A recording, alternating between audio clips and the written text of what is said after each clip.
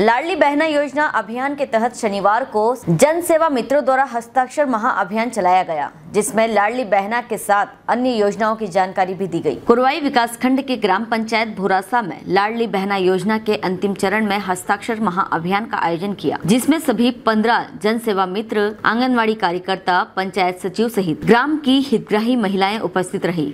इस महाअभियान में साथ ही सभी जन सेवा मित्रों द्वारा बताया कि हमारा उद्देश्य जल्द से जल्द आवेदन पूर्ण कराकर लोगों को अन्य योजनाओं के लिए जागरूक करना है। कुरवाई से शानो खान की रिपोर्ट।